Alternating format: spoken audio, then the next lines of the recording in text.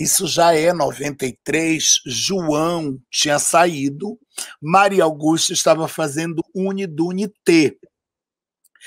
Eu tinha uma confecção de moda, eu trabalhava também com moda, facção, lycra, camiseta, vestido. E aí, na véspera do carnaval de 93, o Anísio me chama no barracão da Beija-Flor e diz assim: me ajuda. Eu disse, te ajudo, o que, que tu quer? E eu sou fora de carnaval, eu sou da moda, eu tenho confecção. O Anísio diz assim: faz 70 roupas de passistas para mim, porque não ficou pronta as roupas dos passistas e, e, são 70. Aí eu disse, mas é daqui a três dias.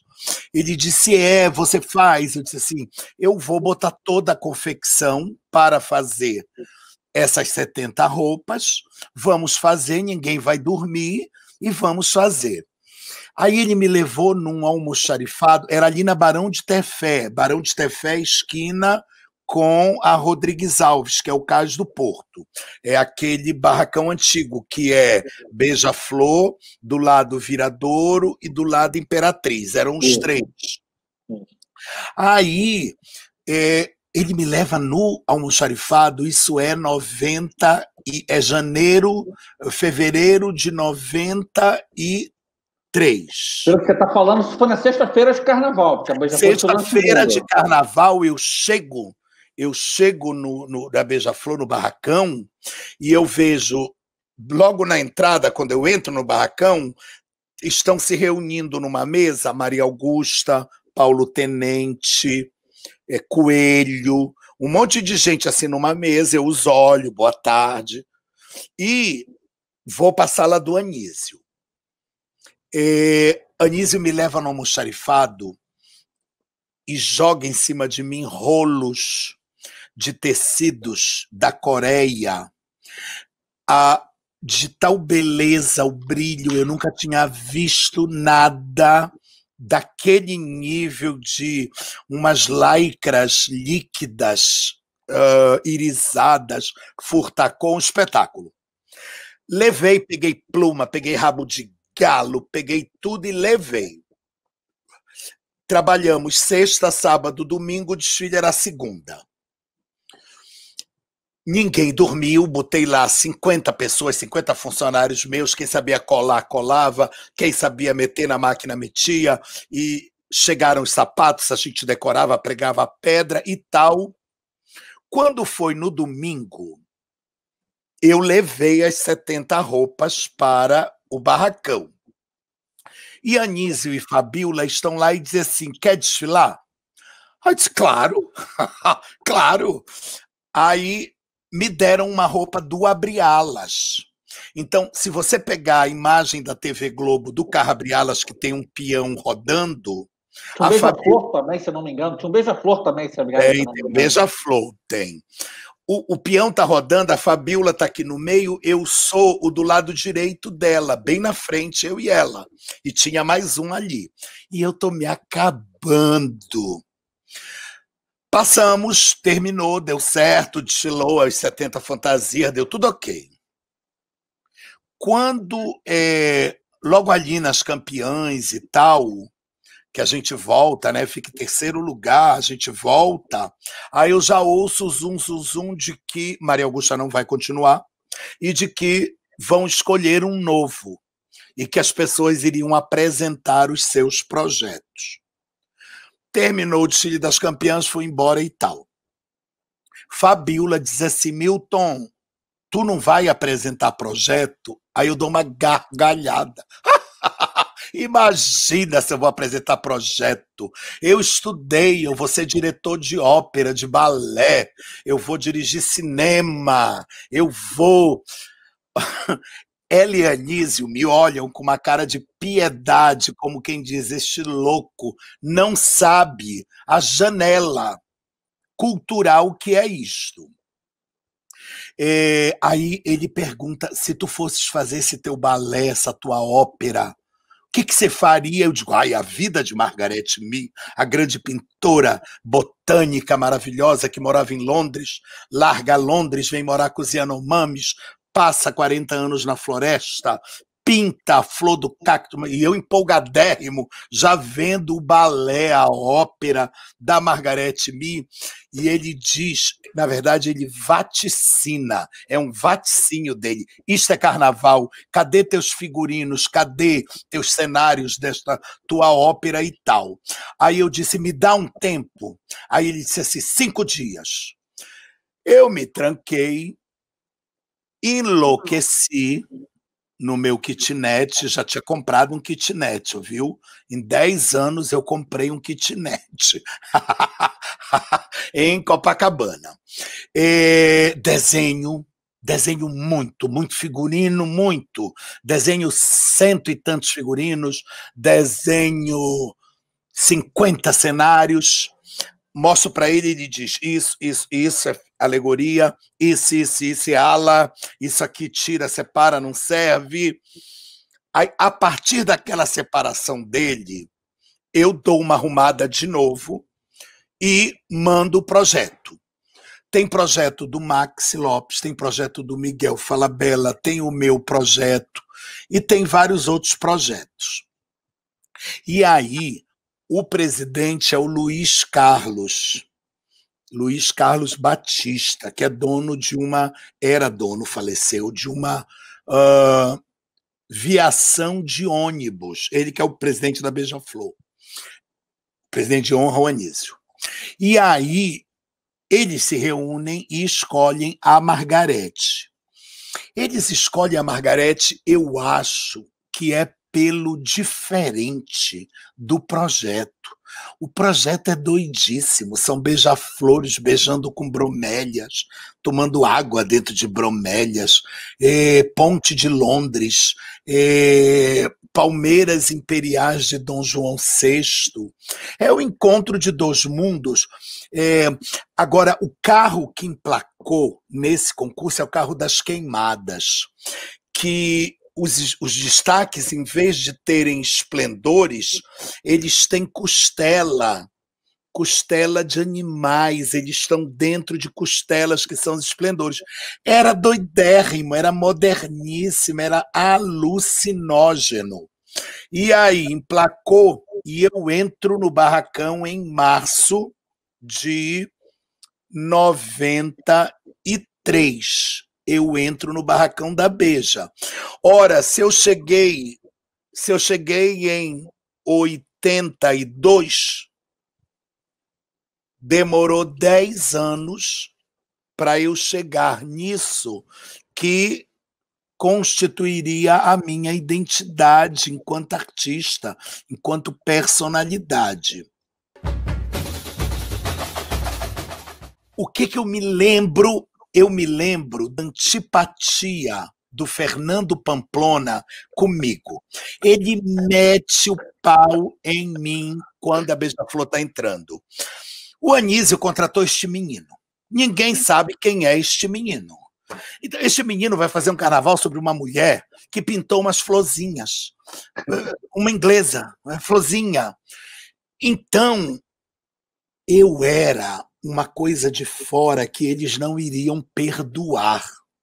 Eles nunca me perdoaram, nunca, nunca. Essa galera, entre aspas, a inteligência carnavalesca, essa gente que se acha dona da linguagem, nunca me perdoou. Sempre me achou absolutamente forasteiro, sempre me achou absolutamente não é, não, não, não ralou não ralou nos barracões, não tem a história que todos nós temos. É um protegido do bicheiro. E aí, mesmo com todo o, o, a má vontade deles, né, da manchete, no começo da Margarete, a Margarete vai entrando, e quando entram as canoas indígenas, Aí Pamplona diz bonito, bonito, bonito. Aí eu digo, eita, Eita, virei, virei o jogo, virei o jogo. Quinto lugar, desfilo enlouquecido, cheio de gueré-gueré, parece uma galinha. Dia de entrega de dia de entrega de estandarte de ouro. Mas eu queria te contar o estandarte de ouro do ano anterior. Eu entrei na Beija-Flor em março, né, para fazer Margarete Me. Teve no Terreirão do Samba, no final de março, a entrega do estandarte anterior a. Isso. 93. E aí, cara, estão todos eles no palco, eu tô no terreirão desconhecido, desconhecido. Tô em pé, no meio do público. Eles pegam o microfone e dizem: a Beija-Flor se arrependerá amargamente de ter tirado a grande professora e ter dado a chance para este moleque. Isso no microfone e eu tô escutando. No meio do público, eu tô assim, nossa, o, a barra vai pesar, o bicho, a bicha vai pegar, porque minha Nossa Senhora é. Quando eu entro com o desfile, detonadérrimo e vou ganhando eles na, na pista, né, e tal. E da onde é... veio? E da onde veio? É uma coisa, eu até estava olhando as notas hoje mais cedo desse carnaval. Ah, de onde que veio a tua ideia de você linkar com o samba no último setor, com a arqueologia do samba? Eu queria dar uma sacaneada no Pamplona e nos velhos. Eu queria chamá-los de dinossauros. Eu queria me vingar do 94. Isso na maior papagaiada, na maior palhaçada. Então eu digo, ai, não vão ter um monte de dinossauros aqui, pois aqui vem os dinossauros do mundo do samba. O divino Pamplona, o divino não sei quem. Eu ficava lá enchendo a bola deles mas era dúbio, era, eh, era dicotômico, né? era morde e a sopra. Porque eu também sempre quis jogar. Ah, é? Bateu, levou. Eu sou esse, entendeu? Eu pego, mato no peito, finjo que não, e quando posso, devolvo. O Cássio está perguntando o seguinte: Milton, você acha que seria aceito nas antigas transmissões da Rede Manchete? Você acha que você conseguiria fazer junto com Pamplona e companhia? Você acha que teu perfil cairia bem na manchete? Acho que a, a, a pergunta que ele fez foi assim, seria aceito, acho que é um pouco pesado. Acho que seu perfil casaria com das transmissões da manchete? Não, porque é, ali é muito heteronormativo. Né? A transmissão é, é, é e tem umas coisas também de ir ficando bêbado, bêbado, bêbado, bêbado e terminar completamente alucinado e tal. E eu não me encaixo nisso, eu tô sempre assim, né? Tô sempre ligadérrimo e tal.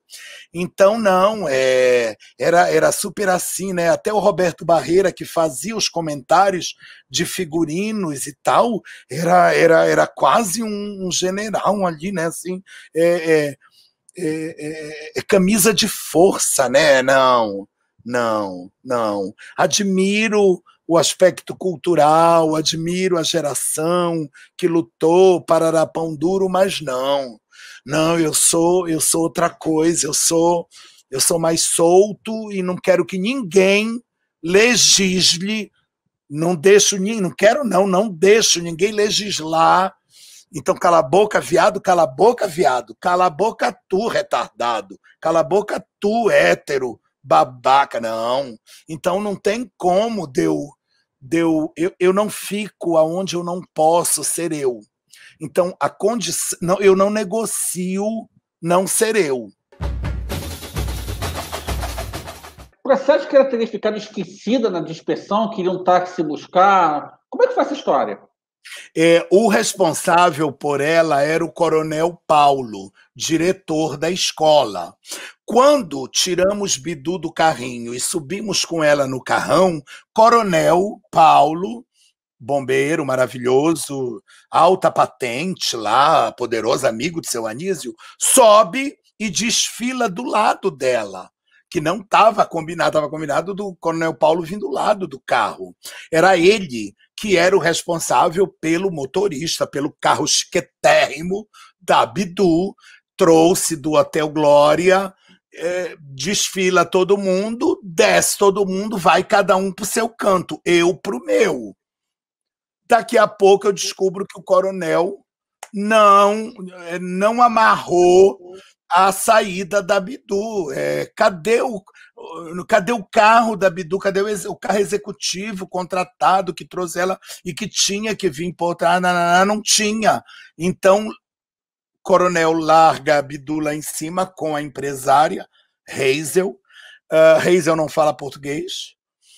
O carro, o Cisne vai saindo e Bidu continua em cima do carro e Hazel sem falar português.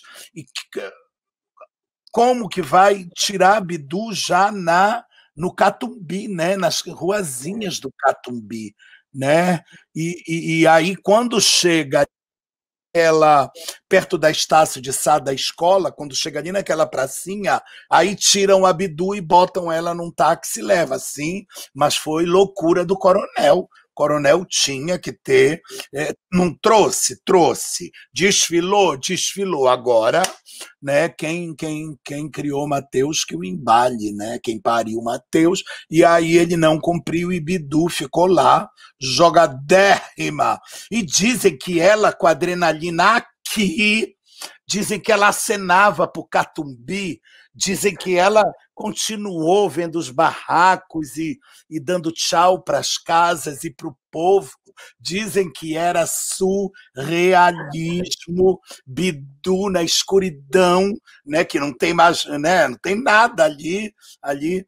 Aliás, como pode aquela dispersão? E olha, amigão, você não sabe, vou te contar os saqueadores. Os saqueadores, existem piratas, existem grupos ali só para saquearem é, pneus, ah, Sim. talhas, porque as talhas custam cada uma 5 mil reais.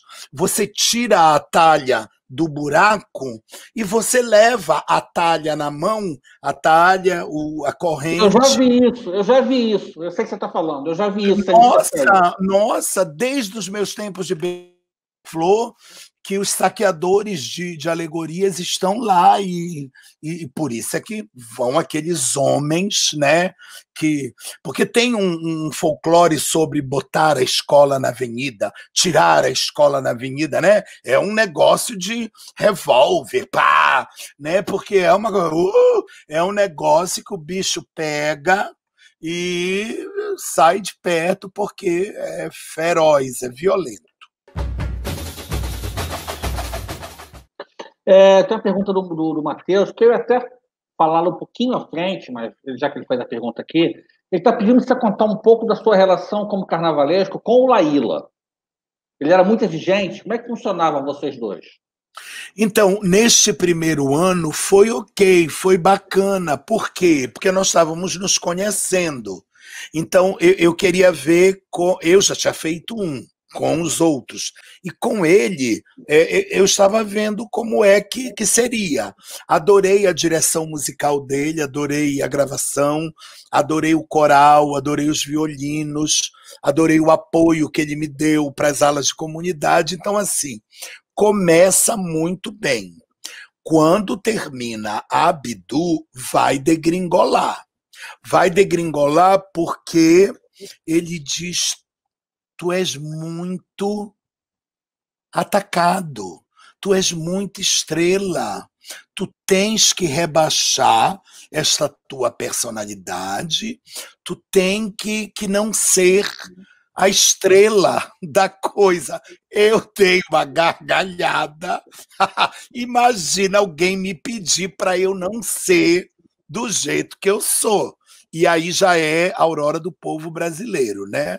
Já é a aurora do povo brasileiro, e aí já começa o estranhamento, que vai piorar muito no ano seguinte no A Beija-Flor é Festa na Sapucaí.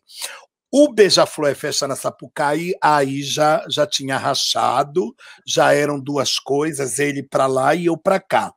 Mas ainda no, no, no, no no Aurora do Povo Brasileiro, na Bidu foi porque a gente estava se conhecendo, deu tudo ok. No ano seguinte, Aurora, aí seu Anísio me chama e diz assim: Milton, você tem que ser menos, você tem que sossegar.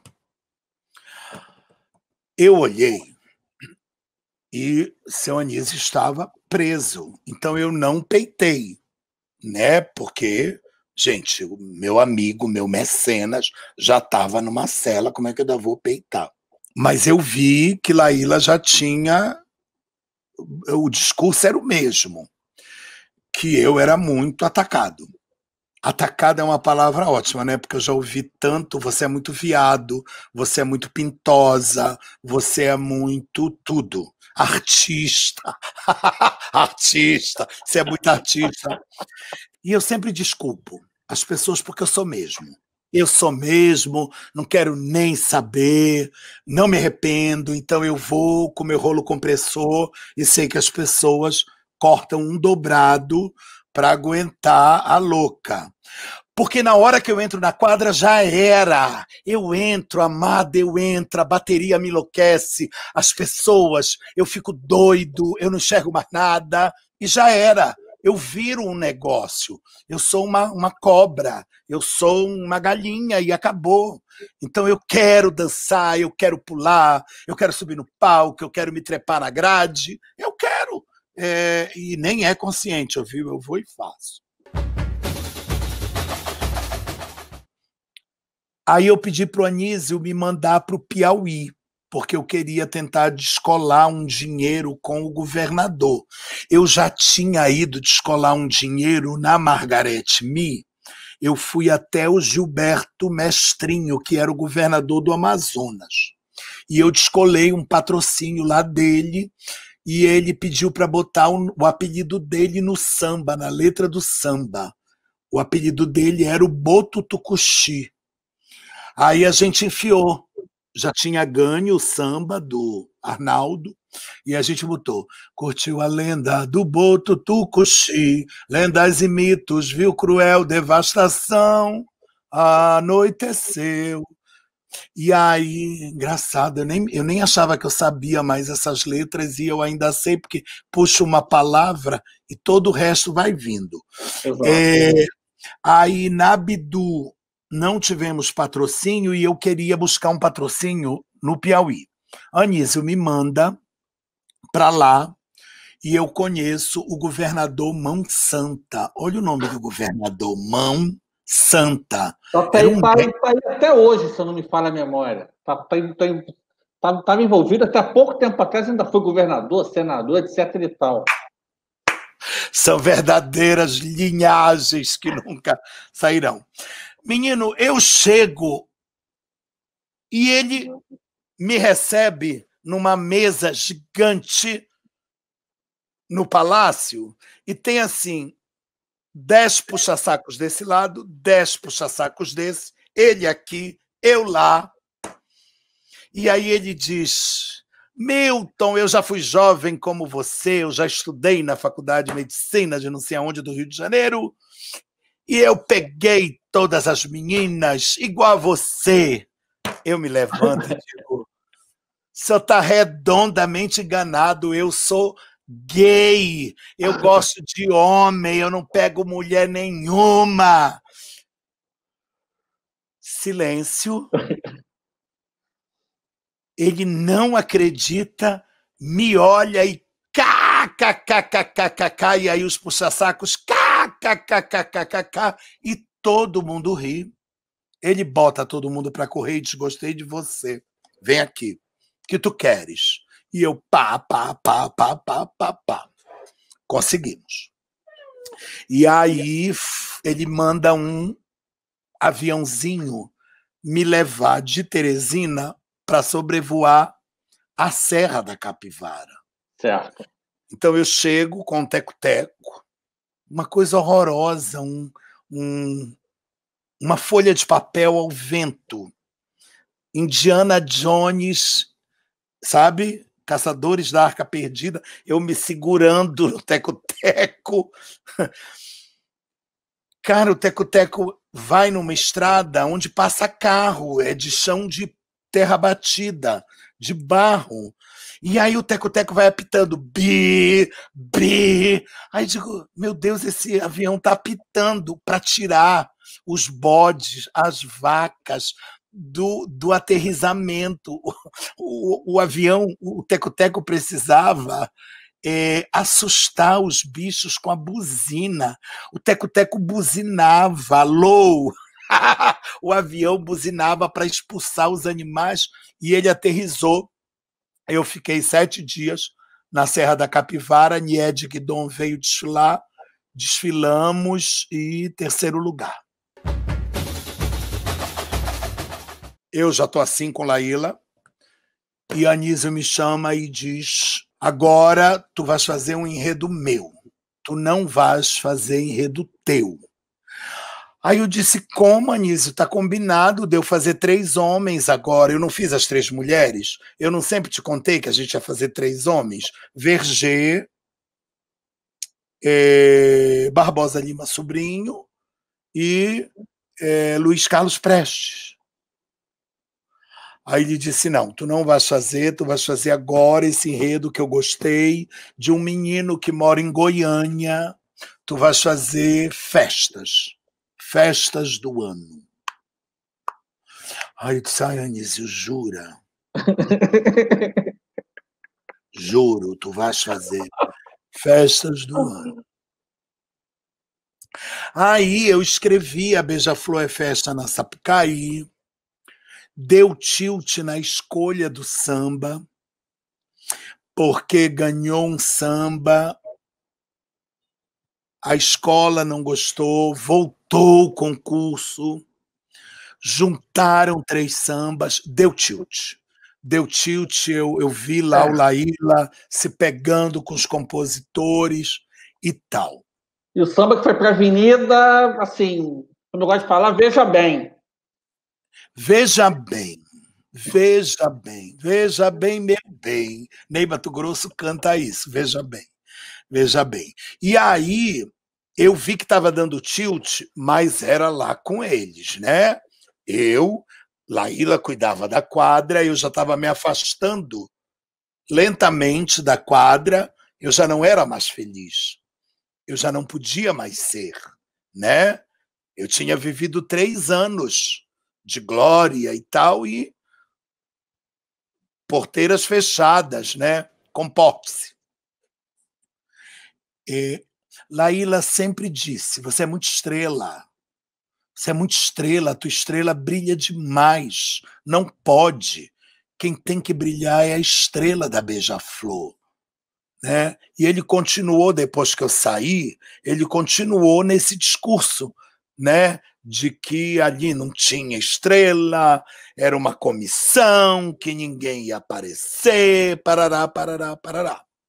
Mas ele apareceu bastante. O veneno. Teve, teve uma gota d'água, teve uma gota d'água, que foi.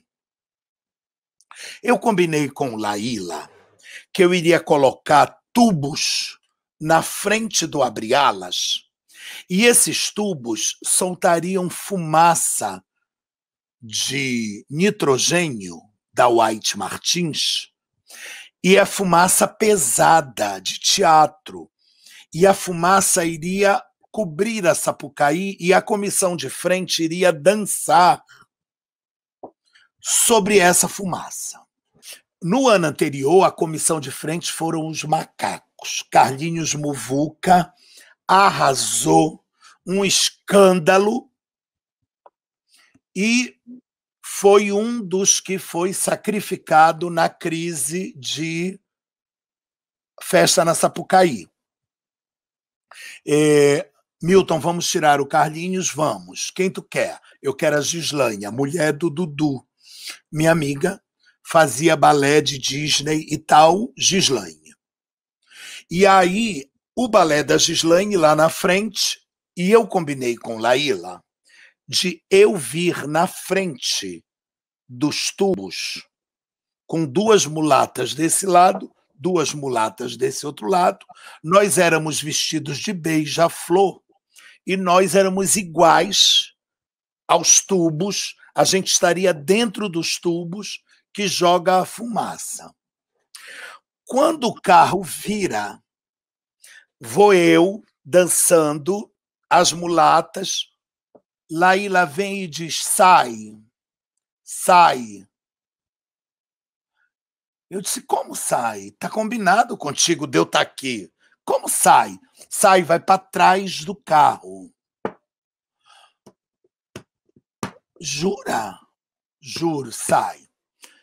Eu mando as meninas ir embora, eu digo, vão para trás do carro. Eu não saio. Eu, Milton, não saio. Então vem aqui, dá na minha cara, manda os seguranças me arrastarem, que aí eu saio. Mas eu não saio. E eu vou. E eu vou de galinha, todo de beija-flor, eu vou e desfilo ali. Careca, deixei um tufo de cabelo, meti durepox, que seca em cinco minutos. Fiz um tufo de Durepox. O Bira, carnavalesco hoje, enfiou os fazões. Eu segurei assim na concentração, fiquei assim segurando cinco minutos. Aí o Bira disse: virou pedra, virou pedra. E aí eu saio com aquele com aquela homenagem a Ney Mato Grosso dos secos e molhados da minha infância no Secos e Molhados, o Ney Mato Grosso usa um fazão aqui num coque. Eu fiz num Durepox. Deu esse tilt, deu esse tilt com Laíla, ele não mandou me tirar, eu fui. Terminou o desfile, quarto lugar, desfilei de novo, de galinha, porque o Anísio tinha me chamado naquele carnaval e disse: agora não, agora tu vai botar roupa de diretoria.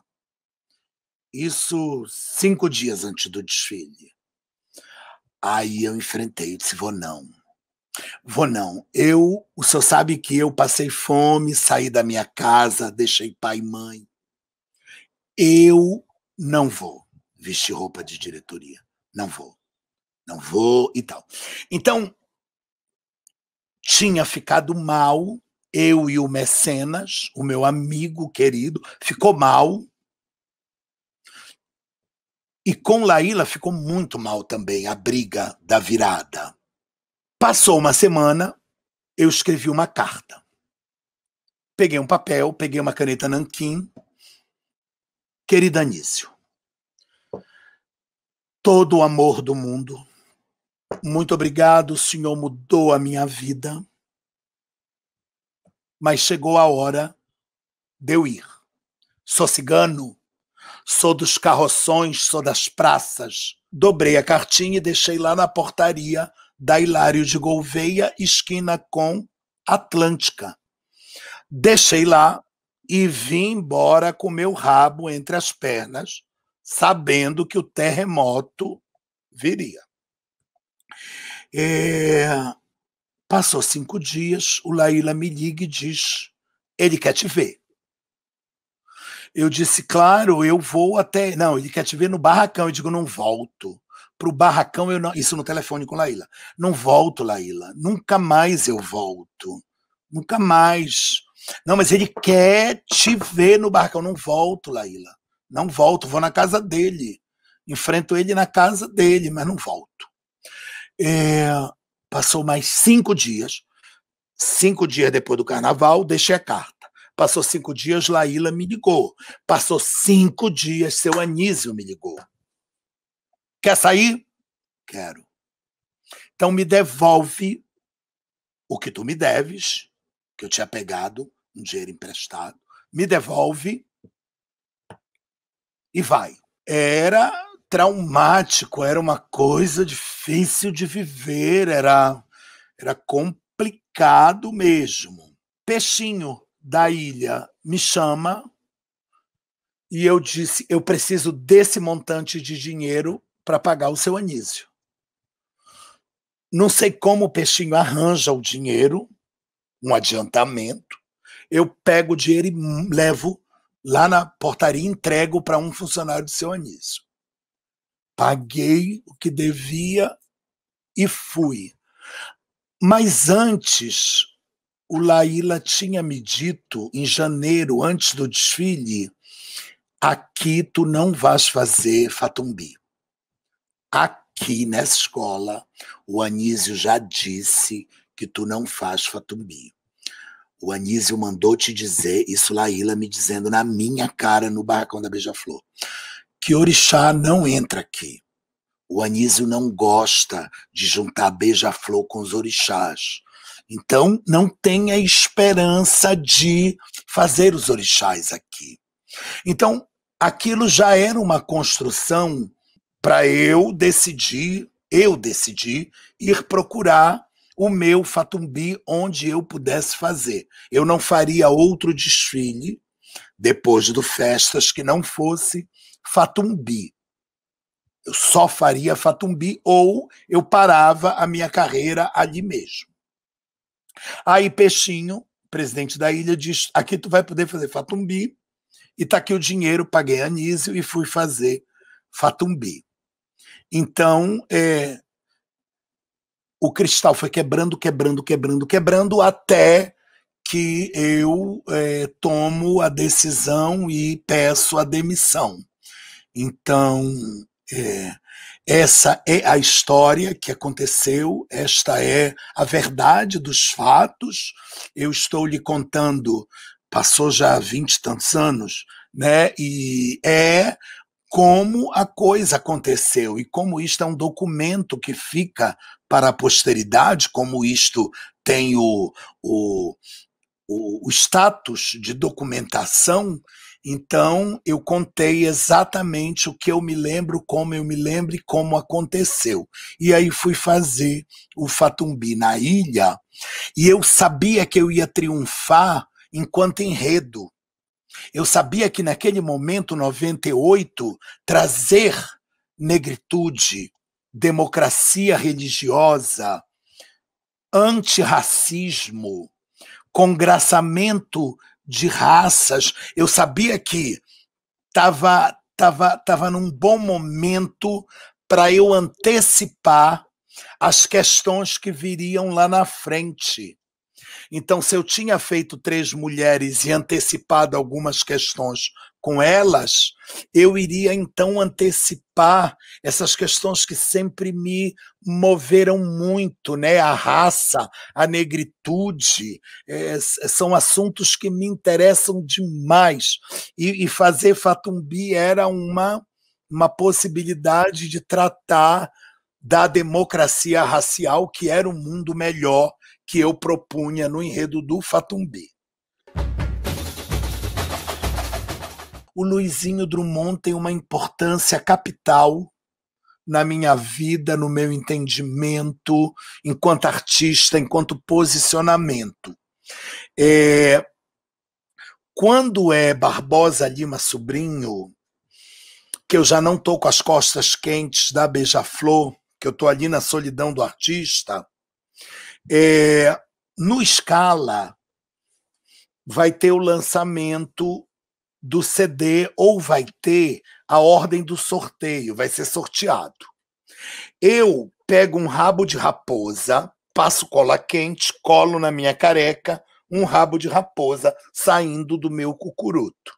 Visto um macacão de onça, coloco uma bota com salto de 30 centímetros e subo no palco do Scala com a Robson e Ana Paula, que eram meu mestre e porta-bandeira, e apresento eles, eu só ouço oh. Eu digo, ih, ih, o mar não tá para peixe. Segura, malandro, vamos lá, Ana Paula, Robson, vai! E fico lá atrás dançando enlouquecido, lindo com a minha bota e tal. E alguém da liga me conta que na plenária seguinte o Paulo Cabelo Frito, presidente da Portela, faz um desagravo em relação àquela bicha de quinta fantasiada pintosa da ilha que colocou abaixo a respeitabilidade da festa. Seu Paulo Miranda, como a gente lá na Portela fala. É o mesmo Paulo. Seu Paulo Cabelo Frito. Aí, eu tô no Barracão da Ilha, eu coloco um cocá lindo que eu tinha, tinha trazido de Parintins. Aí eu boto o cocar que eu cocar. tinha trazido, o cocar que eu tinha trazido de Parintins, e eu saio do barracão da ilha e vou andando pela Rio Branco até chegar na Liga, subo, peço para falar com o seu Luizinho e digo: seu Luizinho, bicha sou, escandalosa sou, sou isto, de cocar três horas da tarde. Seu Luizinho diz assim: meu filho, continue a ser exatamente aquilo que você é. Ninguém pode te mudar. Ninguém deve mudar ninguém. A gente tem que aceitar as pessoas como ela. E ele faz um discurso antenadérrimo com 2030. E eu fico olhando para a cara do seu Luizinho e digo, ah, isso é o máximo, muito obrigado, e saio. Enlouquecido. Então, é, o seu Luizinho vira para mim um, um sinônimo de entendimento, ainda que ele não conseguisse compreender que diabo era aquilo, que diabo era aquilo, mas ele dizia: é tu, então vai. Porque quando dá 2000, que termina Barbosa e eu saio e vou morar na praia, ele manda me buscar em Barra de Guaratiba e diz: está aqui seu credencial, você pertence à corte sapucaiana, você não vai desfilar como carnavalesco, mas você vai estar lá do jeito que você quiser. Então veja também essa moral que ele me dá. Então o Luizinho acabou virando um, um queridão que eu descobri na pancada da vida o, o, o Brasil grávido de democracia. O Barbosa, ele sempre bateu na tecla de que o cidadão, independente de cor de pele, grau de instrução, nada, nem identidade sexual, nada, todos são iguais perante a lei. Eu disse, ah, é? Vou começar por aí.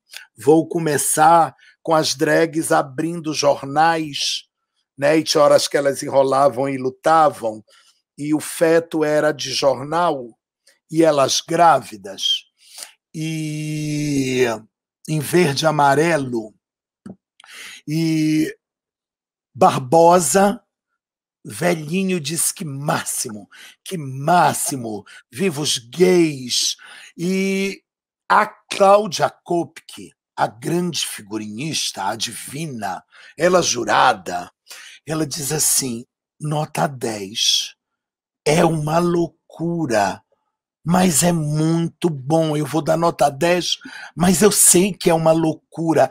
Então, a jurada, desesperada, dando nota 10 e justificando que é uma doidice, mas que ela gosta e ela vai dar a nota 10. Eu adoro colocar jurado em ratoeira, em cilada, deles dizerem, minha Nossa Senhora, que diabo é isso? E eu vou dar nota 10, é uma loucura.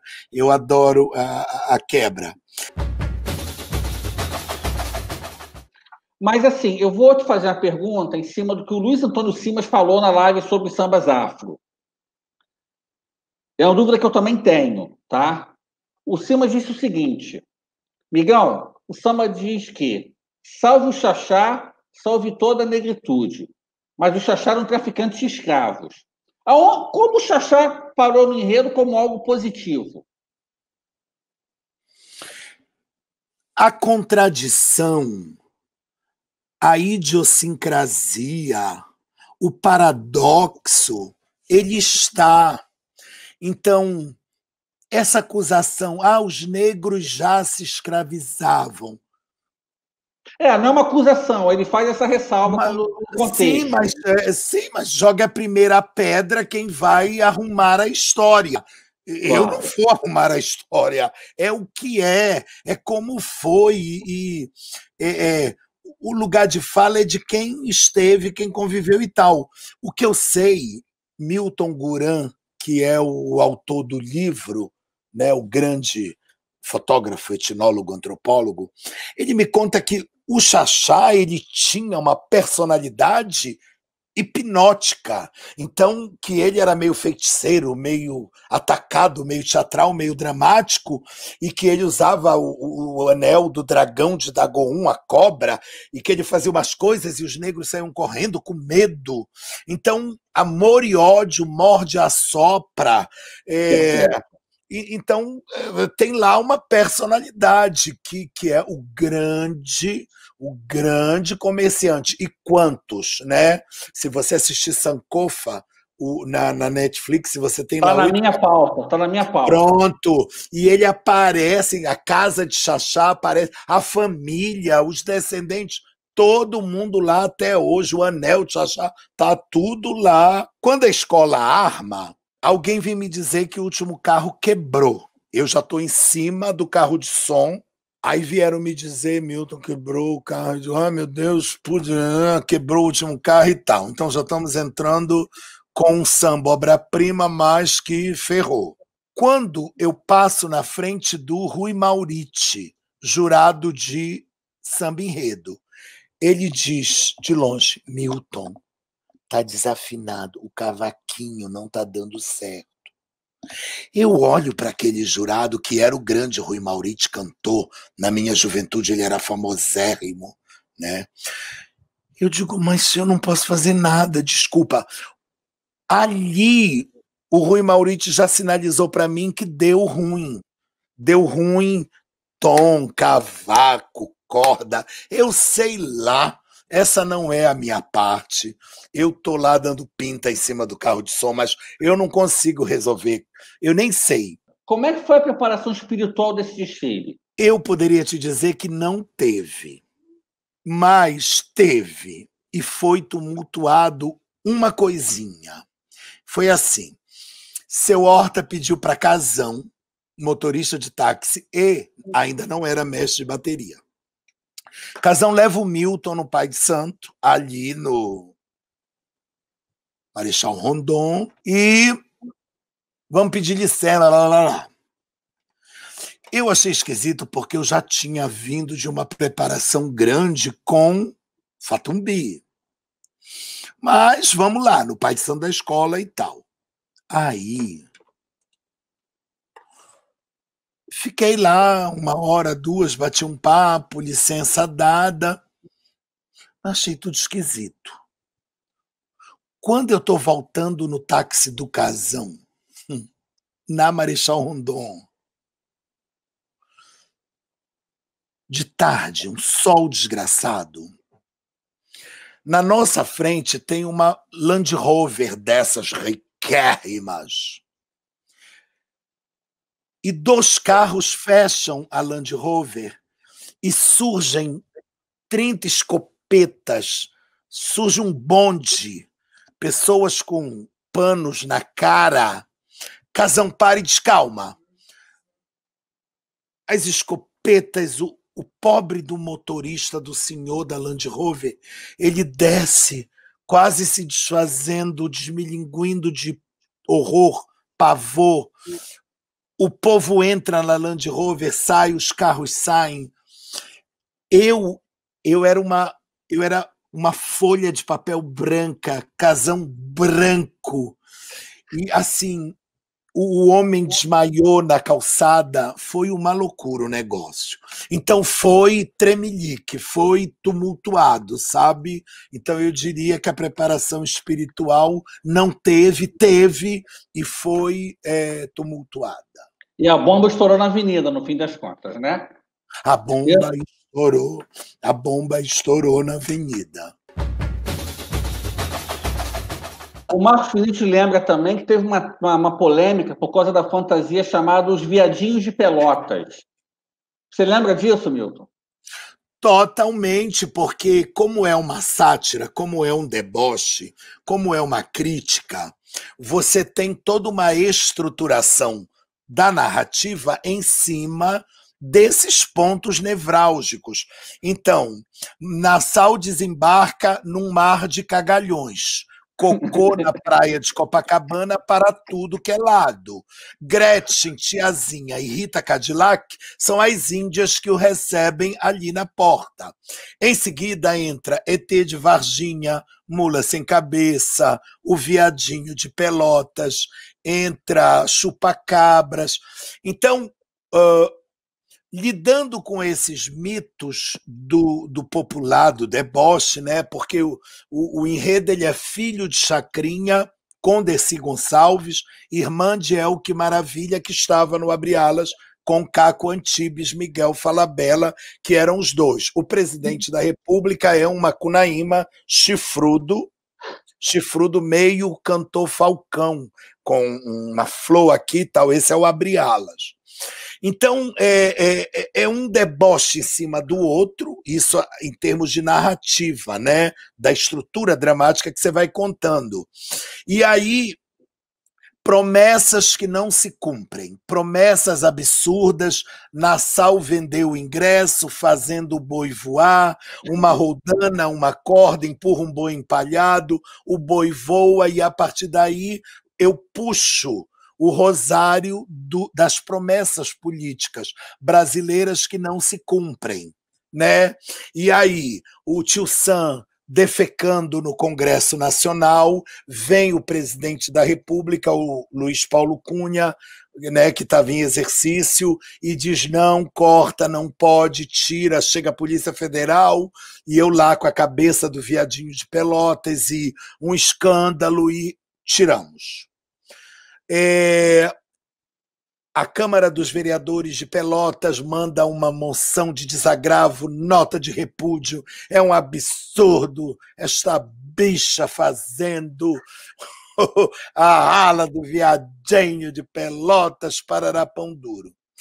Então, é, é, é, é de tropeço em tropeço, e quando eu me vi quando eu me vi no Jornal Nacional, quando a bancada disse: boa noite, Pelotas está em pé de guerra com é, um carnavalesco. Eu digo, meu Deus, o meu prédio, o meu prédio gritou, a minha vizinha de cima gritou, é o meu!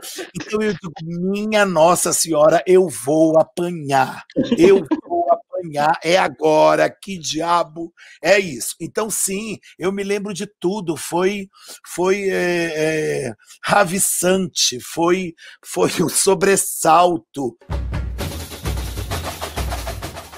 É, o Jorge Mendes comenta é, que na chegada, na chegada ao Sambanete, você chegou de blazer e calça preta com chifre de alça na, alce na cabeça. O segurança perguntou: o que é isso? E você nunca viu? É um viado em cima do outro. Isso, tu nunca viu um viado, fecha tua boca, teu queixo tá. Porque as pessoas elas ficam apavoradas. Olha, estávamos fazendo o protótipo do viadinho de Pelotas da São Clemente. Eu era convidado para ir à Marina da Glória para o Fashion Week. Cara, eu boto os chifres da fantasia, só chifre, era a armação, a cruzeta e os galhos do viado e vou para o Fashion Rio. E, e, era muito engraçado, porque as pessoas ficam apavoradas. É, é, falta bom humor, né? Falta, é, gente, o mundo da moda, o mundo da moda, os fashionistas, uma porrada de viado maravilhosos, criadores, um bando de formadores de opinião, mas tudo com cara de peido, né? E chegam é um cara de que tá fedendo e não tá. Então, tudo que eu tenho a dizer ao povo é relaxa, meu irmão, relaxa. Mostra aí qual é a tua, deixa cair. Porque é um vigiando o outro.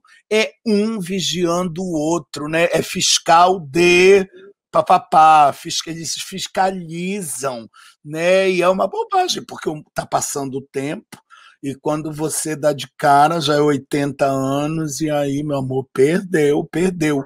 Então, assim, se tem uma coisa bacanérrima é que eu me joguei, Pedro Migão, eu, eu fiz todas as loucuras. Eu comprei 300 pisca-pisca, é, chaveiros pisca-pisca, de desse que você apertava a borracha e ele rasguei os 300, peguei as lampadinhas, costurei todas e fui. E fui, eu piscava, que era um espetáculo. Então, é, sempre que der, ria de você mesmo. Tenha, tenha um pouco de. Não leve a vida na ponta da faca, porque já é tão difícil. Viver já é tão trágico. É o câncer, é a morte. E agora o Covid, não é? Quanta gente arrependida né, de não ter aproveitado mais. Né? Quanto arrependimento e o Covid, buft, acaba com os planos, todo mundo tinha plano, todo mundo mandava na sua vida. Pega o avião a hora que quero, buft, sossega aí, gato. Então é que, que você não se arrependa do que você não fez. Faz, faz e seja o que Deus quiser. Eu muito louca, muito pintosa na São Clemente. E no primeiro ensaio de rua, eu subo no carro de som e o Marquinhos, Marquinhos Preto, que é o diretor de harmonia, solta um memorando para todo mundo. E aí eu pego o memorando e quando eu leio, eu fico tão indignado com o memorando que eu pego o microfone do carro de som e digo, gente, recebi esse, esse memorando aqui do Marquinhos que diz o seguinte: é, Milton Cunha deverá é, discretamente não chamar muita atenção. Tinha um memorando público para eu me comportar. Ah, gente, vê se isso não é para mim, não é para eu matar no peito e contar para o povo. O povo se mijando porque eu estava vestido de galinha em cima de um carro e lendo um memorando no qual o diretor de harmonia manda eu sossegar o meu facho. Então eu já tinha estreado em eh, 94. 94, 95, 96, 97, 98. 10 anos e a minha penúria ainda continuava dos memorandos é, dizendo para eu é, não dar pinta. Então, gente, que coisa difícil, que coisa lamuriosa que foi essa aceitação da bicha pintosa, da bicha pintosa, né? É só uma bicha pintosa. E comentaram aqui, eu acabei me perdendo. O carro do Caveirão, alguém comentou que foi o Marcos Vinícius, que teria dado um certo problema esse carro do Caveirão, porque era a época do começo de ser super peixe. Você teve algum problema com esse carro? O Caveirão na Justiça? Eu fiquei, quando eu entrei no Museu da Favela Vermelha, é, que comentou. Eu, eu vi o Caveirão e disse: Eu não acredito. Eu não acredito que o meu país hoje use um negócio característico típico do apartheid. É bater o martelo de que nós vivemos tempos de exclusão, tempos de profundo horror. Então, eu não ia perder essa. Quando eu vi o caveirão no museu, eu digo, vai virar alegoria e acabou. A gente recebe uns recados, não pode. Quem disse que não pode? Traz a pessoa aqui traz a pessoa para ela me dizer que não pode cair o tiro, mas não pode porque alguém está dizendo que não pode, traz aqui. E aí quando eu mando vir, não vem. E aí o negócio vai para a avenida.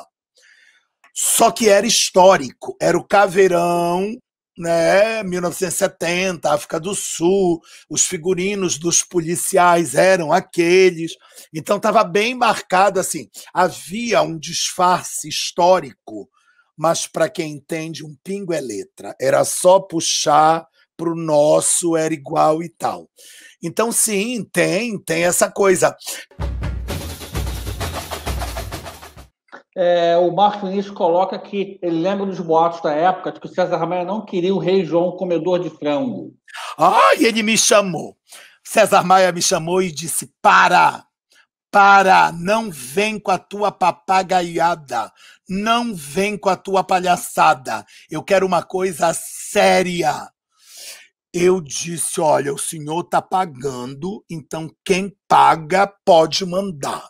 Então o senhor manda que eu vou fazer, porque o dinheiro é seu. Quando dá. Quando o Mauro faz as fantasias de frango assado e os frangos estão tudo dançando no salão do carro número 5. meu Deus, quando eu vi os frangos dançando, eu disse: ai meu Deus, o César Maia não vai gostar deste babado. Mas o César é um bonachão. O César é brincalhão. Então eu acho que ele fez a papagaiada comigo, interpretou o sério, o avozão, o paizão, para eu também fazer a palhaçada. Então ele é um grande amigo, até hoje, um querido. Quando foi aquele carnaval, no, no dia da lavagem da Sapucaí, eu disse para o seu Elmo, seu Elmo, eu vou trazer um queijo altíssimo aqui para o sambódromo e eu quero vir na frente do Bola Preta. Aí ele disse: combinado, o Elmo adora as minhas papagaiadas. O Elmo é meu parceiro de loucura. E aí eu disse: Mauro Quintais, me empresta um frango.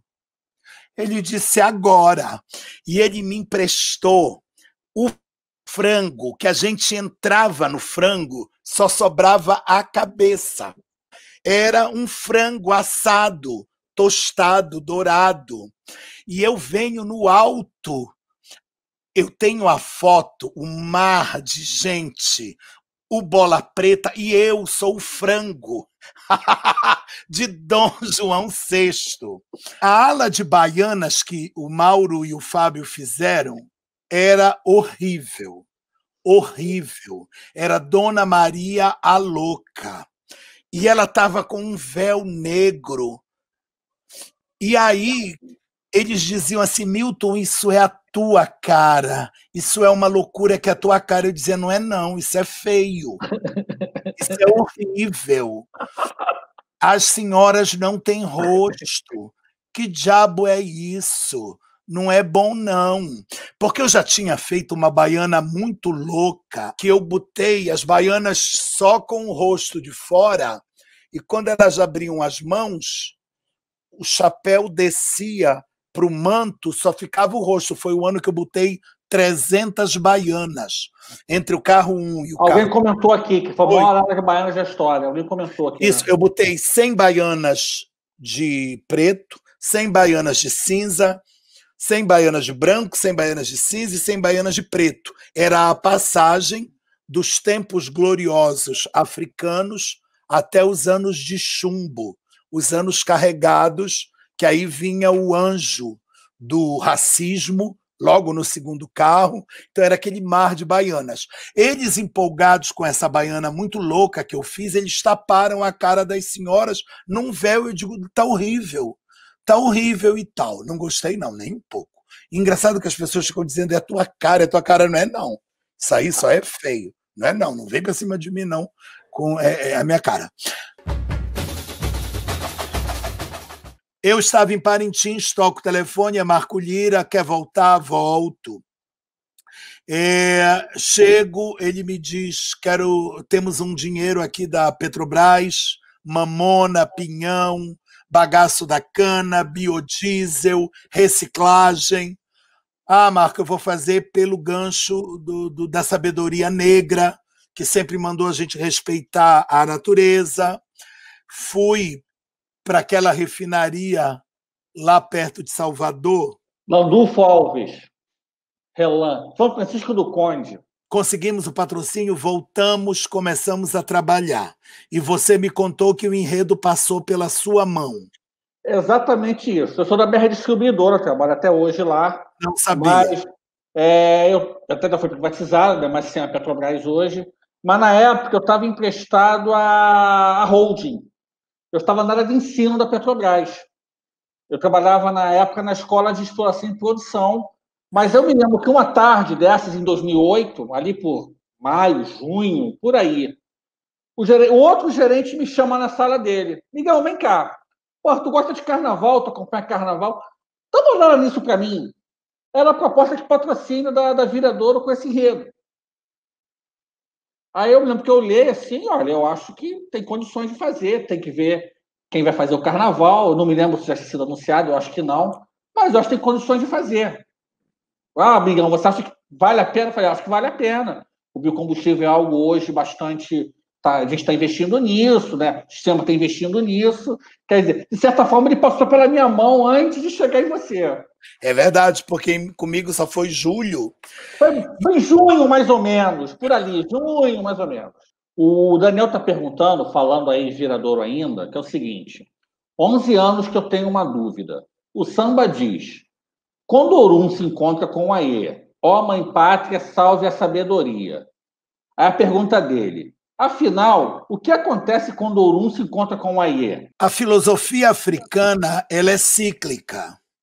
Então, uma das coisas importantíssimas para o sistema de ver o mundo e de entender o real do africano é que as coisas elas estão em roda e aí para você entender o ciclo da vida, você tem neste círculo o encontro de Orum com Aie. Aie é a terra, Orum o paraíso. Desse encontro, Aruanda, o lugar para onde vão os muito velhos que morreram e que vão reencarnar nas crianças que vão começar a sua trajetória em Aie. Então, é desta roda, é deste cíclico que vem a sabedoria africana de, por exemplo, dizer que o círculo do griot embaixo da árvore sagrada, quando o griot conversa com as crianças e passa as histórias, os ensinamentos, os valores. Então você veja o círculo do mais velho com os mais novos. É, é, é esse tipo de sabedoria que bate no Novo Mundo, no Batuque, no Lundu, no Machixe, roda de samba, roda de samba. Quem sabe tocar, toca. Quem sabe cantar, canta. Quem sabe dançar, dança. Quem sabe compor, compõe. Então, expressão uh, das artes individuais. Quem sabe fazer aquilo, faz. Independente se é lavador de carro, não importa as personas sociais. Na roda africana, se você tem aquele talento, você exercita. Então, a cabrocha, que é a tal, é a tal, é a tal, ela anda de trem, ela é sofredora, ela é balconista, ela é doméstica, mas na hora que ela enverga o que ela sabe fazer, ela vira rainha. Quando o Orum se encontra com a Ye, nós estamos nesse uh, nessa região sabedoria africana que diz que não importa cor de pele, idade, beleza física, grau de instrução, identidade sexual, não importa. Quando a energia vem, ela é arrebatadora. Isso é escola de samba, isto é roda de samba, isto é samba, isto é negritude, isto é África, isto é sabedoria. Essas primeiras frases do samba vão introduzir o dificílimo conceito que o branco, o hegemônico, a voz central não admite, que é o talento a sabedoria negra para a ciência, a matemática, a astronomia. Então, sempre que você, intelectual, afirma que a sabedoria negra africana, milenar, ela vai muito além do esporte, da dança, do corpo, do músculo, do sexo, da caçada, quando você diz que essas civilizações negras estão há milênios fazendo documentos sobre biologia, química, astronomia, é, isso desestrutura de tal maneira que o povo fica louco e vem com 30 pedras na mão para te acabar. Não, preto não faz ciência, isso é mentira e tal. E aí você diz, mas vem cá, muito antes da ecologia entrar na moda, muito antes de ter Greenpeace, muito antes de ter Eco 92, a África está repetindo: olha a folha, olha a chuva, olha o vento. Ah, mas isso é feitiçaria, isto é macumba, isto é coisa menor. Claro, tu és a voz hegemônica, tu queres demonizar. Então, o encontro de Orum com Aie é porque o africano ele não separa o mundo misterioso, a inteligência uh, energética do mundo real né, para ele, este mundo aqui, Aie, é continuação do Orum. Então estão todos aqui, estão todos aqui. Bateu a ventania, vem Ansan. O trovão rasgou o céu, Xangô. E a justiça. Então, é, é essa simbiose, Orum Aie, que faz com que toda a sabedoria africana se materialize na decisão dos cientistas da Petrobras de dizer: vamos extrair o poder da mamona, vamos pegar o bagaço da cana e vamos do chorume do bagaço fazer biodiesel. Então, todo este reaproveitamento que os cientistas da Petrobras batem o martelo e dizem: vamos nos dedicar à energia limpa, vamos nos dedicar a novas respostas que não seja o fóssil, o combustível fossilizado. Eu sei que para muitos é difícil esse raciocínio porque sai do lugar de conforto. Né? Para mim, é, essa é toda essa área. Não é. Ah, Milton, mas tu vai pegar orixá para falar de ciência? Sim, meu amor. É ciência pura, meu amor. Você mata uma pessoa com um chá de uma planta certeira. Isso é química, amado. No prato da feijoada, quando coloca a farinha, é para ela contrabalançar no intestino as gorduras do porco. Ah, Milton, jura que você. Ah, juro, juro que é, se a gente desse mais bola para a inteligência da negritude, nós estaríamos melhor. Por isso é que beware with the lions. Cuidado com os leões, é sua responsabilidade e sua culpa. Então, Deus salve Orum, Deus salve. E Deus Olorum. Deus Olorum. O nome do meu Deus é Olorum. Deus salve Orum, Deus salve Aie. E ó, Mãe Pátria, salve toda a sabedoria. Aí eu te perguntar, de onde surgiu a ideia do encontro de Olorum com, com Buda para levar o biocombustível? Porque havia o protocolo de Quioto. Sim. O protocolo, o protocolo de Quioto é o grande documento da modernidade, onde as sociedades desenvolvidas brancas ou amarelas, né, China, Japão, é, nesse protocolo você então o mundo inteiro diz vamos respeitar a natureza. Uhum, uhum. O Rajikuji, Deus dos orientais, Deus de Kyoto. Kyoto, a cidade onde foi assinado o protocolo, o grande Deus é Rajikuji. Oi, Rajikuji, conheça Olorum, conheça Olorum. Antes de você, Rajikuji, Olorum está dizendo há 10 mil anos isso que estão assinando o teu protocolo. Então, Beijo, Rajikuji.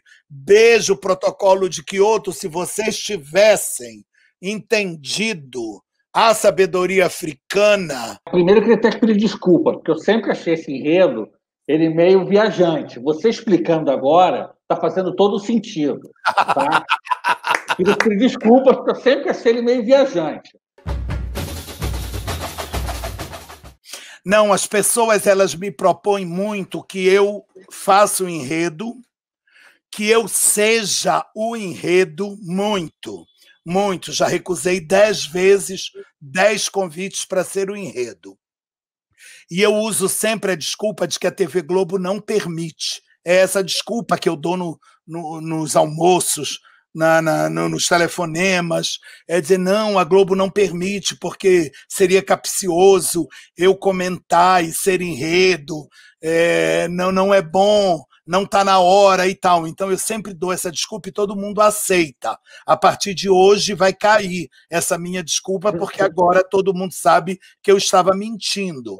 Mas não tem o menor problema, eu vou inventar uma mentira melhor ainda e vou dizer: não quero, não posso, sou jovem é, homenagem é para as Kakuras, eu ainda sou gostosa, não venham me homenagear e tal. Eu escrevo bastante, muita coisa, vocês nem sabem que tem a minha correção, que tem o meu uh, arcabouço teórico. Então, é, por questão de contrato, eu jamais contaria para vocês. Claro. Mas eu continuo ainda escrevendo bastante e sendo consultor bastante da narrativa.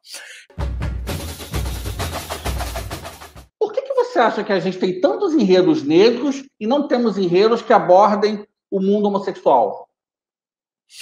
Porque é heteronormativo, não é? O pensamento é heteronormativo e como a escola de samba, a Sapucaí não é uma bolha, ela não é asséptica, hospitalar, separada do resto da realidade. Então você tem ali, é... por exemplo, toda vez que eu tentei colocar na avenida o Exu Bara, que é o Exu pirocudo, né? Esse é o Exu africano. O bara, bara é pênis, é falo, né? ereto. Essa é a escultura africana do, do, do Exu Bara. Toda vez, foram três anos, foi lá o fiscal da Liga, da Liesa para olhar se o peru do Exu pode ir. Então, é, é, há uma fiscalização em relação a, a, a, esse close, a esse da pinta, a essa bichice. É, é o território do, da tradição família e propriedade. Né? É uma coisa assim. Tanto é que veio no, no, foi encaretando, encaretando, encaretando, e você não tem mais bico de seio, né? A genitália não pode ser desnuda. Então veio, veio que hoje, hoje é assim, né? É, o esparadrapo caiu e, e não colou e, e, nunca mais. Então, então foi cercando, cercando, cercando, cercando e sobrou espaços específicos para os viados, né? Sobre os espaços específicos são os cercadinhos, os cercadinhos, mas é, não pode haver um, um, pensamento fora do caricato, fora do caricato, é, um sistema de valor, né? Não pode haver heteronormativo muito. O Marcos Luiz está perguntando o que você fazia com o Exu? Cobria, capava ou tirava do desfile? Então, é, eu sempre decorava ele tanto, né, para ele sumir, né, que aí ele, ele virava algo, né, mas é, aqueles cachos de falos no, no braço esquerdo de Exu, né, que são falos, falos, falos, falos, cabaças em falo, é, e, e, sempre teve essa coisa do, do terror pelo, pelo órgão genital. É, o problema da humanidade é a penetração. É a penetração. A penetração é um problema porque é, é, quem penetra manda quem é penetrado está na categoria dos subalternos. Mulher é subalterno, bicha passiva é subalterno. Então, este grupo de penetráveis, esse não tem voz. Então, assim, penetre. Então, daí a ser um problema psicanalítico não é, é, a penetração é é realmente assim quem grita mais deixa eu gritar mais alto do que tu para que é, vocês tenham porque é uma questão de medo não é uma questão de respeito né? É medo mesmo do da fora da curva do ponto desviante. Começo de internet começo de memes, começo de papagaiada no Orkut. E já estoura um meme que não era meme, que é o meu nome é Josimar. Passa uma mulher belíssima e eu digo, nossa, essa mulher está se acabando. Essa mulher maravilhosa, gostosa. Eu já elogio uma louca em cima de um carro. Quando a escola chega na dispersão, o repórter diz: Olha a mulher que o Milton Cunha gostou. Querida, querida, qual o teu nome? O meu nome é Josimar. E caca, a mulher que o Milton tinha achado belíssima, o nome era Josimar. E ela pula do carro, sambando, um sucesso. E eu digo, maravilhosa, fabulosa, bicha, você arrebe... E virou um meme que não era meme. Isso era... foi já foi 2008, né? Foi não da ilha. O meu nome é Wilson, né? Foi o estouro da boiada, já virou a palhaçada, os sites já papapá. O meu nome é Wilson. E é... a ilha, é ilha, o Wilson é da ilha? Da ilha, 2008, reedição do É Hoje. Do É Hoje. Né? É... Então, eu ia te perguntar o seguinte, né? Eu ia falar isso um pouco mais à frente. Como é que foi a reação da cabine com a entrevista? Você lembra? Quando desceu, né? O repórter todo galante. Pô, vem princesa, como é seu nome então? Meu nome é Wilson. Como é que foi um grito, Um grito, as pessoas do meu lado gritaram. Ah, KKKKK, e eu engatei imediato, maravilhosa. Desde, eu também não me fiz rogado, não, sabe? Era belíssima, lindíssima e tal, confirmei. E aí vim, viado, você arrasou. E aí chutei para gol, porque tava ali a bola me esperando pro gol, né? Então deu tudo certo. Só que o Jorge a escola passando, uma escola passando e o Jorge entrevistando aqui o dono do supermercado e a, a, a gastura, a aflição. Acabaram de comentar isso aqui. Cara, aqui o dono do Guanabara. Que Jorge, seja breve nesse teu merchan e não era breve coisa nenhuma. E, e menina, a escola ficava furiosa, desfilando aqui, e o Jorge falando, entrevistando e tal. Olha, eu sei que não casa, eu sei que entre uma saída e a outra entrar é a única que dá para você enfiar é, o enche linguiça, porque é, quando a sirene toca e a bateria sobe, não pode. Isso não pode nos camarotes. O show do camarote tem que acabar na hora que a sirene toca para começar o desfile. Na transmissão tem que, que, que deveria, é, é, na hora que toca a sirene, você vira para a estrela, que é a escola que vai passar. Quem me joga na campeã da Band é o Carnaval do Povão do Perlingeiro. Olha como é, o Carnaval das Campeãs do Perlingeiro foi uma catapulta para mim, para chegar na Band, no Campeãs, e isso me leva para o Festival de Parintins, que é um case de sucesso na minha vida. Esses cinco anos de Parintins é, é um case fabuloso porque eu me reencontro com o meu povo da floresta. Eu reencontro a minha infância, então ver os índios batendo os pés nas toadas, aquilo tudo era minha memória afetiva. São cinco anos consecutivos. É, e era lindo porque as balsas levavam os equipamentos da Band pelo Rio Amazonas e o sol amazônico se pondo, a floresta, a balsa, os containers, era belíssimo. E quais são as diferenças de comentário entre Parintins e o Carnaval Carioca, Milton?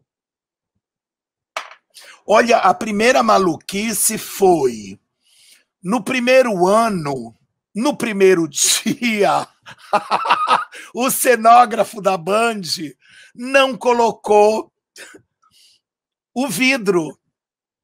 Então, uma nuvem de insetos amazônicos, milhões deles invadiram voando a boca do Datena, a boca do Milton. Eu estava belíssimo porque eram mariposas noturnas em cima do meu blazer, mas o problema é que na minha cara também tinha. Se só fosse no meu terno, elas batendo asas, belíssimo! Mas o problema é que era na cara, no olho. e ba... Então a gente passou o primeiro dia batendo nos insetos amazônicos e no dia seguinte, de manhã cedo, já botaram o vidro porque o inseto amazônico, ele, o inseto vai atrás da luz. Quando você acende a luz do estúdio, meu amor, a nuvem vem, as sete pragas do Egito vêm e você se abana o tempo inteiro. Tinha uma coisa bacana lá em Parintins que era a participação dos diretores culturais dos bois ali fazendo a defesa e tal e eu elogiando, e a pessoa dizia, foi feito pelo artista tal. Eu adorava esse bate-bola com ah, os artistas de lá, dos bois. Aqui no Rio é o glamour, o glamour absoluto. Então, assim, é... quando eu chego seis horas da tarde na Sapucaí, que, que o povo vai me cumprimentando, é a gritaria, e é, é, é é uma suspensão, é um torpor que eu não sinto nem no Carnaval de São Paulo, nem em Parintins, nem em lugar nenhum. Há um há uma suspensão da cidade, há um, um olhar de que algo vai acontecer. Então tem um, um borogodó, um ziriguidum mágico que acontece ali e aquilo, a Sapucaí ela vira um imã e ela vai atraindo aquelas 75 mil pessoas, e dentro daquelas 75 mil pessoas tem as estrelas, tem os técnicos, tem o povo que vai destilar e tal. Então, é, é, o que eu lhe digo é que nada se compara a esse frisson, a, a, essa coisa misteriosa, inexplicável que é vai começar os desfiles do Grupo Especial do Rio de Janeiro é uma coisa louca, é uma droga. É uma droga, aquilo é uma adrenalina. Você sente uns negócios, umas sinapses, tem uma endorfina, tem uma orfina qualquer que o teu corpo libera aquele grito e tal, que é fantástico. Quando eu saio da Cubango em 2010, eu disse vai ralar vai vai tentar ser professor, vira balconista de boutique, de madame, vai trabalhar, porque na Globo tu não entra mesmo. Eu, eu já tinha passado toda a década de 2000 até 2010 pedindo chance. E não, não rolava. Não rolava, não rolava, não rolava. Passou 2011, doze. Doze eu bato na costa do Miguel Ataíde, o diretor do jornalismo. É... Me dá uma chance? Aí ele disse: Ah, nós vamos fazer a transmissão do acesso. Aí eu disse, nossa, que bacana e tal. ele estava me dizendo que eu iria entrar pelo acesso. A minha grande chance era me atracar com o acesso. O meu nome foi para a roda dos produtores. A Tati, minha diretora, me conta. É, Manuel Alves, Teteu, tudo votou em mim. Tudo votaram. Ah, o Milton, Milton nasceu para isso. Então, o pessoal da produção da do Carnaval da Globo, Vuft, todo mundo disse: bota o Milton, que o Milton vai saber fazer é, foi eu e Chico Espinosa. Eu e Chico Espinosa, o, o jornalismo, porque essa entrada não é pelo entretenimento. Essa entrada é pelo jornalismo. Quando eu assinei o contrato, eu disse: nossa, é agora ou nunca. Tu não queria, querido? Chegou, querido, a tua hora. O que, que eu achava mais estranho? Que eu via a dobrada, que ainda não era o desfile. Sim. A faixa de início é lá. O que, que eu faço? Eu viro de costa para o que está entrando e me ligo no corte lá do meio da Sapucaí. E aí eu começo a transmitir isso que está passando aqui e não isso que está dobrando aqui. E todo mundo está ligadaço aqui dentro nisso que está passando aqui e que não está no ar. Entendi. Então o diretor começa a reclamar: vocês estão falando de coisas que não está no ar. E eu já aqui entendendo que, meu amor, é o corte da imagem. O teu carnaval de comentarista é o que está no ar, é o plugado. Plugou, você entra naquilo. Aqui é lindo, é emocionante, mas isso não quer dizer nada, ninguém está vendo. E quem está vendo não está te assistindo. Então aceita que dói menos. Isso aqui nas tuas costas, fabuloso, é para quem está ao vivo.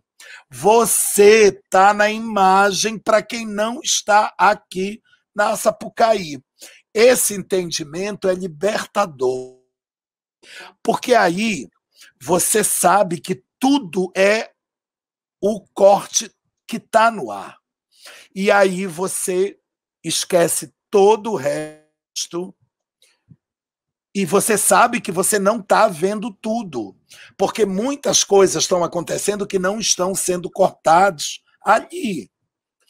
E você sabe também que a comissão que você está analisando, você vai ver 30 segundos no máximo.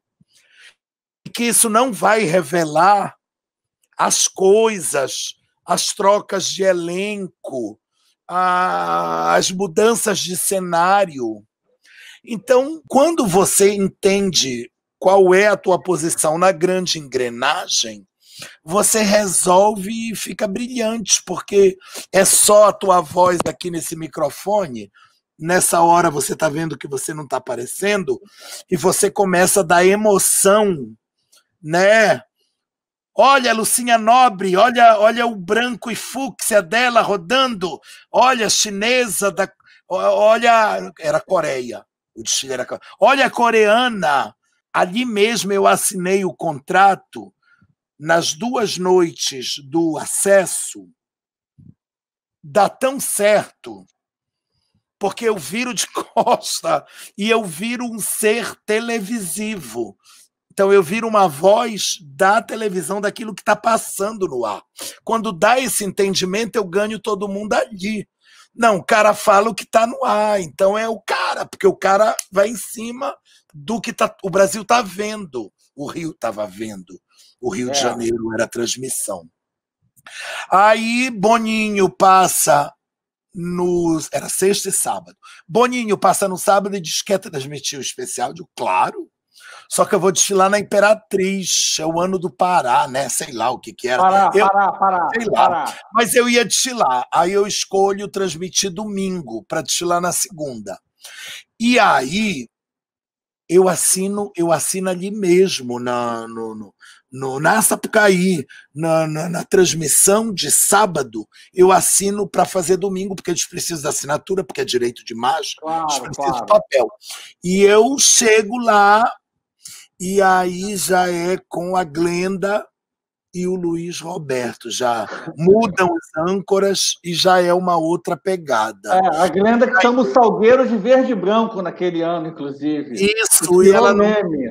E eu falando do pagode chinês, do pagode coreano, e ela não sabendo o que é pagode. Aí, é, e é, é, aí que eu me lembro da Lucinha, porque a Lucinha tinha sido contratada pela, pela Inocente, Inocente e abre o desfile, né? Do, do especial A Inocente. Então eu me lembro bem que a minha estreia no especial é com a Lucinha Nobre e o Rogerinho na Coreia. Para mim, para o meu coração, foi muito impactante a primeira imagem. É, boa tarde, boa noite, está aqui o Milton Cunha com a gente e tal. Aí eu, oi, gente, obrigado, tô adorando estar aqui. A Lucinha passa rodando Coreia. Eu digo, meu Deus, a minha amiga, a minha irmã e eu estreando, e ah, o mundo está desabando e tal. Então, foi muito emocionante ver a Lucinha e o Rogerinho, meus amigos dos anos 90.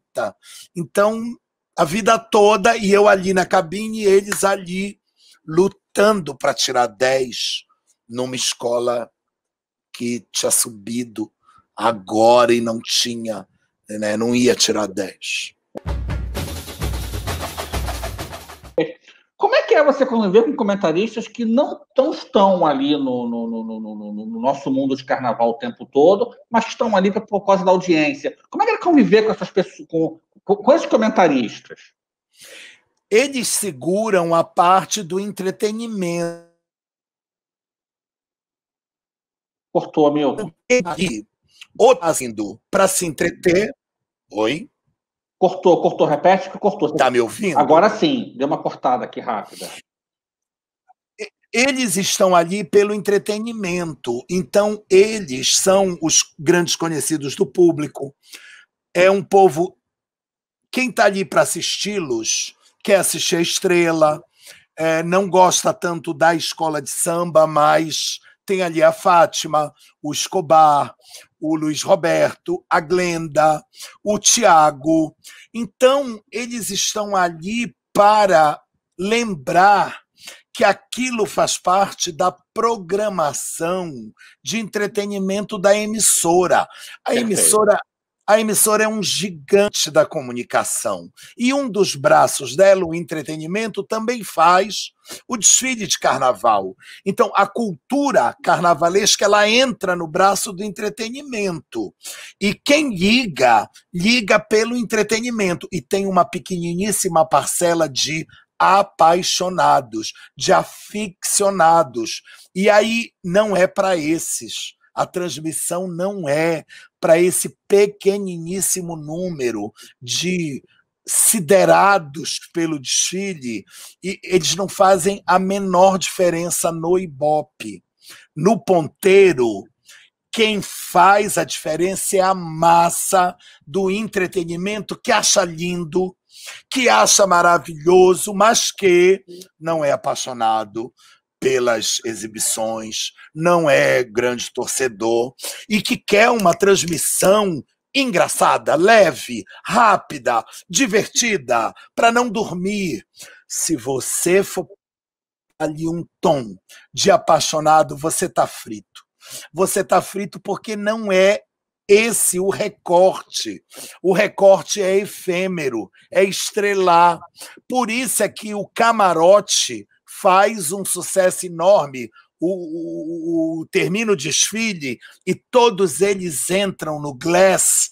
Aquilo, a, as estrelas de perto sendo entrevistadas, aquilo faz um sucesso fabuloso, porque ali é, saiu do desfile e entrou no, na, nas estrelas falando com é, a, as pessoas em casa. E a estrela é a porta-bandeira, é a Cláudia Raia, é a rainha de bateria, a comissão que aconteceu porque trocava de roupa. É, então, é híbrido. O estrelato ali do, do camarote da Globo no final, ele é uma chance do público do entretenimento ver de perto eu pegando a pena e dizendo: olha, é uma pena pintada, olha aqui, doutor João Helder pintou essa pena. Então, é, esse fora Sapucaí, dessa visita lá, é, transforma aquilo ali num estúdio onde quem estrelou o desfile bate um papo com o povo do entretenimento. É esse povo que segura o projeto no sentido da audiência. Então, eu fico com a impressão de que o sonho desses aficionados são câmeras de pedra nesses pontos, começo, meio, fim, virou. Esquenta, se principalmente, arrancada, que hoje a TV não mostra. Esquenta. E, e, e câmera que, que, que, mostre o a total esquenta, total mexe-sala, total porta-bandeira, entendeu? E não, não, não, não tenha qualquer. É só o som ambiente, só a música. É, foi o que eu te falei. Aí no final ali, ah, a escola tal foi, foi bem nisso, mal nisso, dois minutinhos, pronto, acabou. Irmão, isso, irmão, isso só faz sucesso com aficionado, viu? Quem dá audiência, a massa, não assiste isso de eu jeito. Sei. Eu sei. Jeito, acha um saco. Eu sei, eu sei. Quando termina 2013, dá um tilt, dá um erro. Qual é o erro?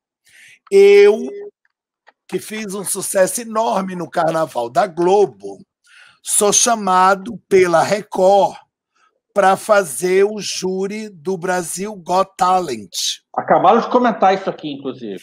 E aí, e aí era uma dinheirama, eu assino, e quando eu tô no estúdio da Record, toca meu telefone, é a TV Globo. E eu tô dentro da Record. E eu disse: ai, me desculpe, eu não sabia que vocês me queriam, eu achei que ninguém me queria, eu achei que eu estava desempregado na Rua da Amargura e apareceu essa dinheirama, esse convite, eu aceitei, eu aceitei, eu aceitei. Meu amor, olha, eu comi o pão que o diabo por causa do meu erro, da minha loucura. Por que, que eu não perguntei para a TV Globo se eles me queriam? Eu concluí que eles não me queriam, que eu só ia ser empregado de novo em fevereiro do ano seguinte. Ai. Aí eu trabalho para Record, março, abril, maio, junho, julho. Acaba o contrato da Record e eu começo a bater na porta da Globo e dizer: me perdoa, me perdoa, me perdoa. Fico de joelhos, ah, e tal. E aí eles me dão uma segunda chance. Eles foram maravilhosos, porque me botaram, te acalma, te acalma, que lá para dezembro a gente conversa. E aí, lá para dezembro, conversaram, me contrataram para fazer o carnaval. Eu fiz o carnaval, fiz matérias antes do carnaval. Ali, em janeiro, o Miguel criou para mim Pitacos do Milton. Sim. O Miguel criou, criou para mim é, os barracões da Série A. Eu fiz todos os barracões. Então, o mesmo enredo de samba que eu fiz para o especial, eu fiz para o acesso.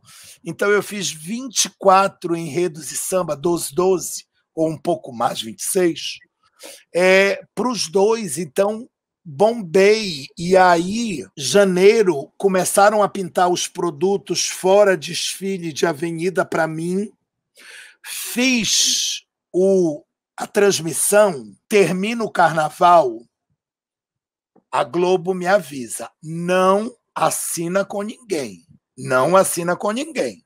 Eu disse: imagina, nunca mais, nunca mais.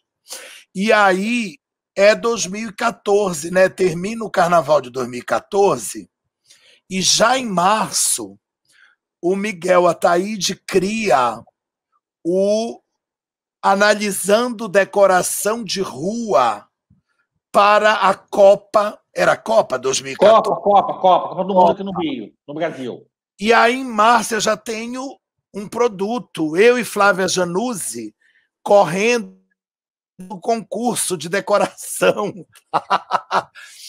e eu enlouquecido com as velhas de comunidade, com as senhoras fazendo decoração e eu lá cortando com elas e um sucesso. Termina a decoração de rua, cria um outro produto para mim, tudo Miguel e a produção de jornalismo, que é me dá um help aí. Eu socorrendo turistas que vieram para a Copa, é, ensinando os turistas a serem cariocas. um horror, um maravilhoso. Duas francesas foram fazer piquenique, le piquenique, o lalá, na, no, no, no piscinão de Ramos. Caralho. Eu com o frango, a farofa. Acho que eu lembro disso. Mas é alucinado, é alucinado porque eu quebro todos os paradigmas. Exemplo, no piscinão eu peço para levarem uma boia dessas de caminhão cheias.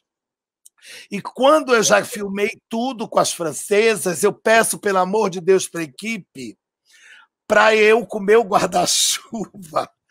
Eu me sento na boia, a equipe me empurra e eu vou flutuando na boia com o microfone. O homem do som da TV Globo tendo desmaios, síncopes, porque eu estou na água com o microfone e a caixa caríssimo. Se eu viro acabou com aquele um milhão do microfone. e eu digo, meu amor, chique é ser feliz. Aí eu começo a ir para trás, a minha perna sobe, as crianças gritam: vai virar, vai virar. E eu viro dentro d'água do piscinão e seguro o microfone e a caixa para fora e termina o programa com o microfone da TV Globo, a minha mão, água até aqui, e o homem do som dando ataques. E eu saio todo sujo, todo enlameado, e vou e devolvo o microfone para o homem que só era um corpo, já tinha desmaiado.